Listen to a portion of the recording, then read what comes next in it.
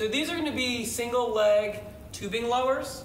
Uh, this is an exercise to learn how to activate our core so that we can actually get in a better uh, hip postural position to relieve some neural tension in our hamstrings. Um, so we're going to start with a band, like a tube.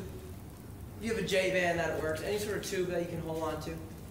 We're going to start away from the pole, the arms to the sky, and our feet pressing straight to the sky. At first, a lot of you probably won't be able to do that. You'll be here. What I want you to think of instead of using your hamstrings, I want you to think of using your core. Thinking there's a cockroach under your lower back and you're killing that cockroach. That's going to help get you get your feet to the sky. From here, we're going to take a big 360 degree inhale. So it's going to be a big breath in like this.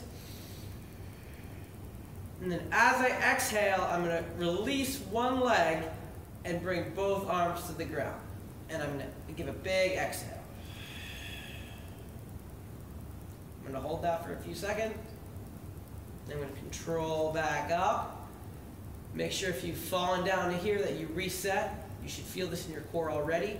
Then you'll have another 360 degree inhale. Other leg down while you exhale. You're really trying to press this other leg through the sky. Full exhale. Hold it for a second.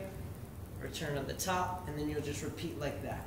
You're going to feel this in your core, and this is going to teach you to have your core move from a position where it's tilted like this to one that's more neutral, and that should relieve some of the tension in your hamstring.